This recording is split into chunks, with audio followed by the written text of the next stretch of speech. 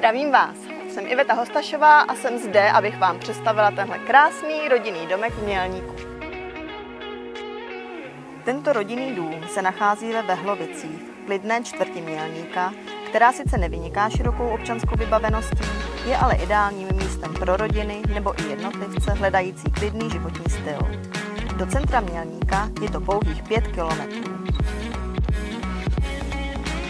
A jaké jsou výhody této nemovitosti? Je to jeho poloha na konci ulice s krásným výhledem, budete tu skryti před zraky sousedů, budete mít přes 3000 metrů čtverečních velkou zahradu se vzrostlými, převážně ovocnými stromy, možnost zatopit si v krbu, využívat sklep a garáž. Nebo i to, že se můžete rovnou nastěhovat, případně si domek upravit podle vlastních představ.